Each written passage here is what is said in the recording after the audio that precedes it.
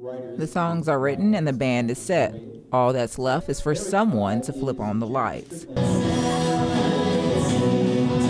But for many bands, the chance to record their tracks in a professional space is far fetched.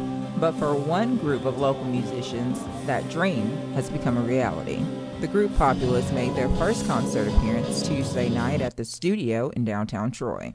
The group is all students from the music industry program. Four of the songs that they perform were all written by the group, and it's just a new it's a new group, and they're growing and prospering. The band played a variety of songs from alternative and rock to R&B and Latin. Olivia Ellis, a vocalist for Populus, says how the band's love of all types of music brings the group together.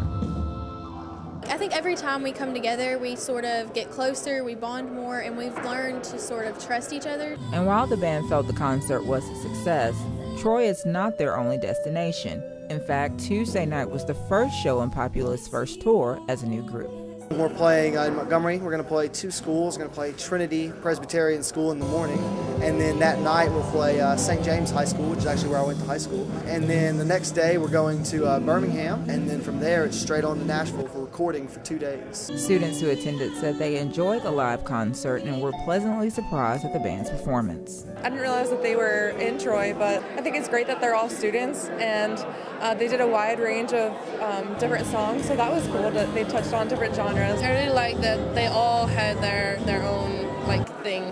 Because normally bands have like one lead singer and, and the band, but here everyone had their, their own part. That's cool.